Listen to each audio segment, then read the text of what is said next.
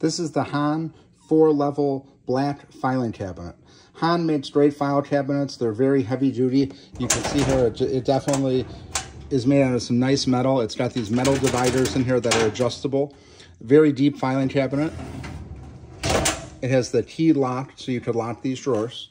And then each drawer basically is the same. They each have the metal file uh, separator in here. You could fit, this is the letter version also. So not the ladle size. You want to make sure when you're getting this, you get the letter or the ladle, depending on what you need.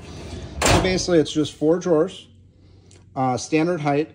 It's uh, it's about 26 inches deep, I believe, and this holds a tremendous amount of files in here.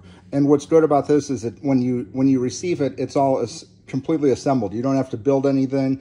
All you have to do is basically take it out of the box and you're ready to use it. Uh, it is nice because you could store stuff on top as well.